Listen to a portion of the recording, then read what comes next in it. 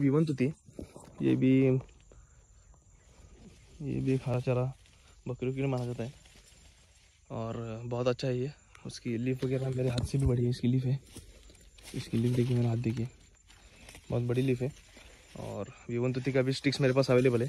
जिनको चाहिए रहेगा कॉल कीजिए।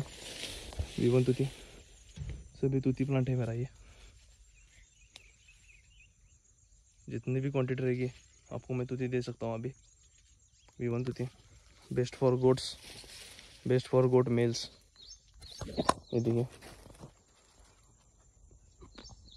हाइट में लगभग अभी है चौदह फीट तेरह से चौदह फीट इसकी हाइट है अभी।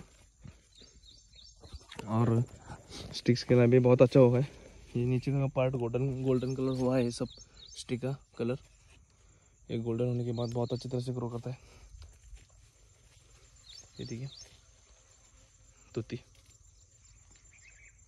ये भी बहुत इसकी, हम बोलते हैं ना, इसका ये भी खा जाते हैं। पूरा इस स्टिक तो छोटा छोटा काट के देते वो भी खा जाएँगे।